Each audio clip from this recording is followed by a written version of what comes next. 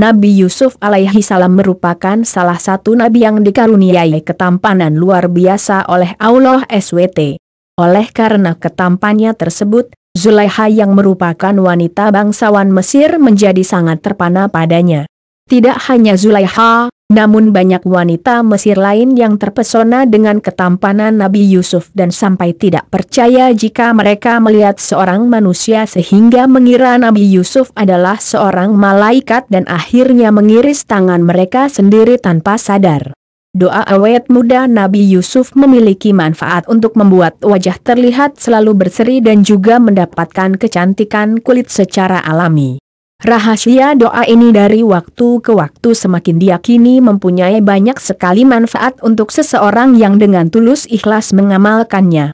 Berikut ini adalah beberapa doa awet muda Nabi Yusuf selengkapnya yang bisa diamalkan supaya memiliki tampilan yang terlihat lebih menarik untuk tujuan yang baik juga.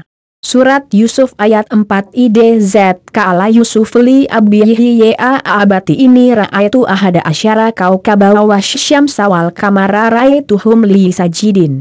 Arti, ingatlah Yusuf berkata ayahnya, wahai ayahku, sesungguhnya aku bermimpi melihat sebelas bintang, matahari, bulan semua bersujud kepadaku, Q.S. Surat Yusuf ayat 4 Surat Ta'aha ayat 39 wa alkaitu alaika mahabatan mini walitushna ala ainiyawi.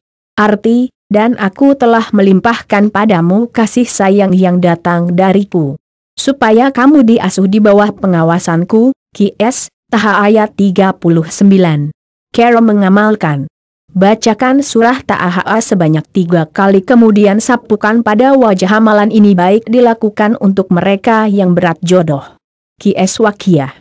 35 sampai 38 Inaa ansya'ana aunna insya'a faja'alna una abka'aro uruban atro ali ashabil yamin. Kero mengamalkan. Niatkan dalam hati untuk mengamalkannya ambil satu gelas air putih dan bakal surah Al-Fatihah satu kali lanjutkan dengan membaca ayat kursi satu kali terakhir bacakan surat Al-Wakiyah di atas sebanyak tujuh kali tiupkan pada gelas berisi air putih untuk diminum dan amalan sesudah salat subuh dan salat isya. Doa buka ura Nabi Yusuf falama roenahu wa kotona aydiyah nuna wa kulnaha asyalilahi im aha aza. In ha'aza'a ila malakun karim. Kero mengamalkan. Baka doa buka ura Nabi Yusuf ini saat akan bertemu dengan seseorang yang ingin Anda taklukan. Bisa dibaca juga sesudah sholat fardu sebanyak tiga kali saja. Sesudah selesai membaca doa pengasihan Nabi Yusuf, usapkan pada wajah secara menyeluruh. Tidak hanya untuk pasangan, bisa juga digunakan untuk menaklukkan menantu, mertua, atasan atau bawahan, karyawan, teman, klien dan sebagainya. Doa awet muda kedua Bismillahirrahmanirrahim. Nur Allah Nur Muhammad, Nur ku cinta tiada berubah, cahaya Allah cahaya Muhammad, cahaya Maryam Siti Fatimah. Kero mengamalkan. Baka doa pengasihan awet muda ini sebanyak tiga kali saat akan keluar rumah tiupkan pada kedua telapak tangan dan usapkan pada wajah khasiat dari doa ini akan menjadikan wajah berseri serta sangat mustajab untuk menarik perhatian orang lain saat melihat Anda pertama kali apabila dibacakan dengan rutin sesudah salat tahajud malam hari sebanyak 11 kali maka akan membuat siapa pun jatuh hati pada Anda. Doa awet muda ketiga Bismillahirrohmanirrohim. Holakot dunya mina nuri walaho adama watini cahaya Nur Muhammad. Kero mengamalkan. Baka doa awet muda ketiga ini sebanyak 33 kali sesudah selesai menunaikan salat lima waktu atau hendak akan wudhu. Sesudah selesai membaca doa ini, tiupkan pada tangan Anda dan usapkan pada wajah secara perlahan dan menyeluruh. Doa awet muda keempat Ya Hadi, baka 33 kali, Ya Badiah, baka 33 kali, Ya Nur, baka 33 kali, Ya Allah, baka 3 kali. Kero mengamalkan. Doa awet muda ini juga bisa digunakan sebagai wirid pengasihan bakal keempat wirid di atas sebanyak 33 kali sesudah selesai salat wajib lakukan ini dengan rutin supaya wajah tampak awet muda, berseri dan bercahaya doa awet muda kelima ina'a ansya'ana auna insya'a faja'alna auna abka arwa'u uruban atro'oba alias ha'abil yamin. Kero mengamalkan Ambil satu gelas air putih dan letakkan di hadapan Anda. Baca surat Al-Fatihah lalu lanjutkan dengan ayat kursi. Lanjutkan kembali dengan surat Al-Waqiyah ayat 35, 36, 37 dan 38, Baca surat Al-Waqiyah sebanyak tujuh kali.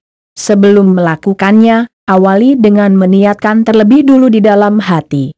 Baka amalan doa ini di atas satu gelas air putih dan minum sambil dilakukan secara istiqomah. Doa awet muda keenam Allahumma alni yunuru yusufa ala wajhi famen ro'aan yuhibuni mahabatan.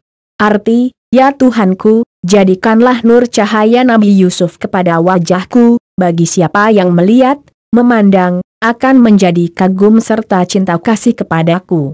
Kero mengamalkan niatkan untuk mengamalkan supaya doa ini bisa terpatri di dalam diri bacakan secara istiqomah sesudah selesai melaksanakan salat lima waktu Kero mengamalkannya sama dengan mengamalkan doa Nabi Yusuf ayat 4 yakni dengan menahan napas kemudian tiupkan pada telapak tangan dan usapkan pada wajah Anda.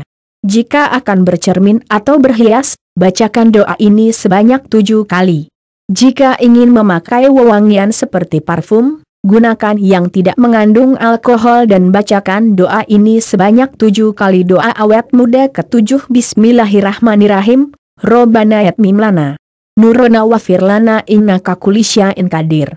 Arti, Ya Tuhanku, sempurnakanlah cahaya kami dan ampuni kami.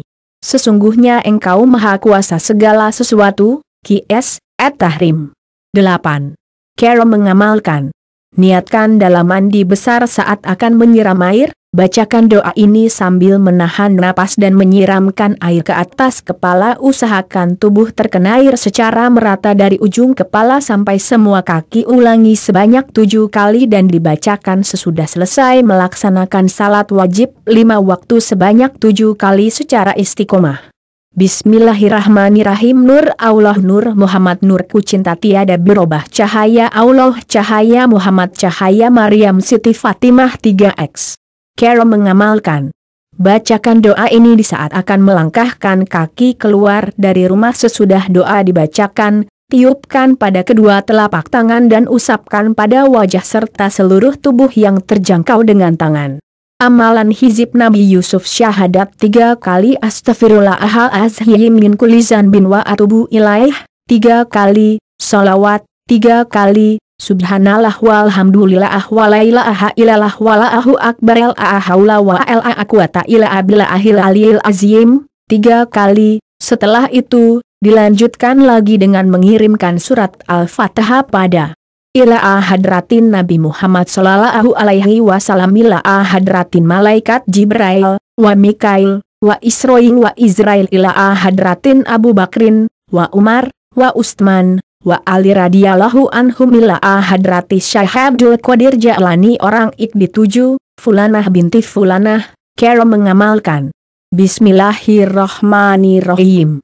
Fala ruainahu akbarnahu wa kotona aidiyah nuna wa kulnaha asyalillahi im aza abasyaro in ha'aza ila malakun karim. Dibaca setelah sholat hajat minimal 313 x dan setelah sholat subuh 100 x selama 7 hari. Setelah 7 hari setelah sholat 5 waktu dibaca 7 x. Setelah membaca tiupkan kedua telapak tangan dan sapukan ke wajah. Ks. At-Tahrim 8 Robana Mimlana Nurona Wajfir Lana Inaka ala kuli kadir. Arti, Ya Tuhan kami, sempurnakanlah bagi kami cahaya kami dan ampunilah kami, sesungguhnya Engkau Maha Kuasa atas segala sesuatu. Kiset Tahrim titik 28. Kero mengamalkan.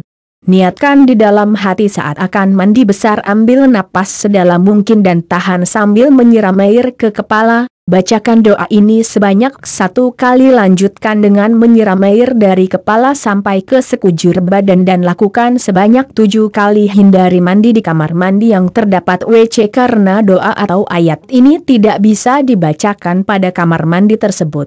Doa menaikkan seri wajah surah Al-Baqarah ayat 165. Yuhibunahum kau bililah, walazet ha'ina amanu ashaduhu ban lila. Kero mengamalkan.